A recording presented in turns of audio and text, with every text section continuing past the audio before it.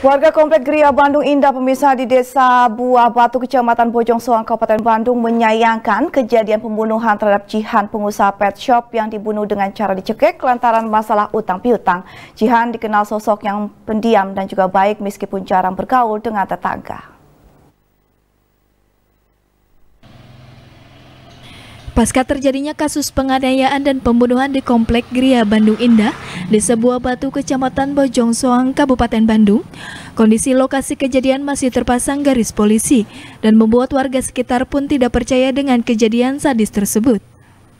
Warga tidak menyangka kejadian tersebut bakal menimpa Jihan Nur Sofi dan Ferry Fadli karena kedua korban terutama Jihan dikenal sosok yang pendiam dan baik walaupun jarang bergaul bersama tetangganya. Jika keluar rumah, korban yang memiliki usaha jasa penitipan kucing ini memang tidak banyak berbicara.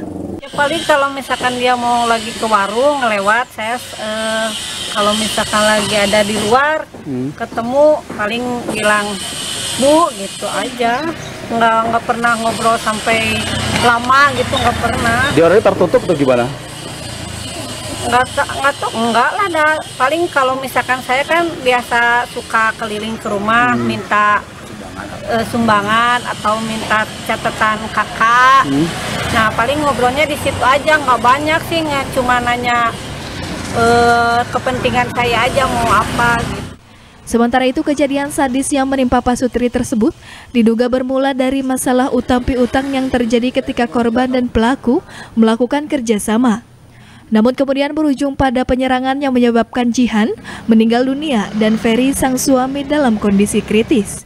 Rezi Prasaja, Bandung TV.